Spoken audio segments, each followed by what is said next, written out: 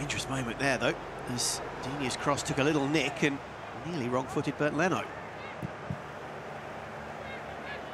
So looking for his first Arsenal goal. A little pop there.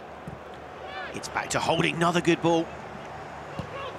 Saka's shot on target, and that could have easily been the opening goal. For the last five minutes or so, I think Arsenal have, have looked dangerous. That being said, though... Dangerous play there and a fine save from Bernd Leno. Looks like it will be Sigurdsson to have a pop as well.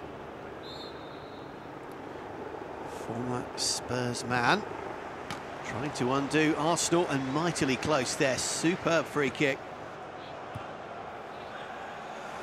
Dangerous position here. Coleman's ball. That was a great opportunity for the informed Gylfi Sigurdsson. Ceballos to Chambers. Back to Dani Ceballos. Appeals for a penalty. There is a kick on the shin there, Nick. Pepe's arm is offside. This shouldn't be an issue, but it apparently is.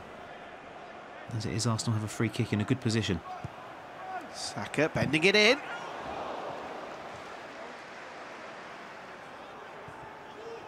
Back into Dani Ceballos. Super effort.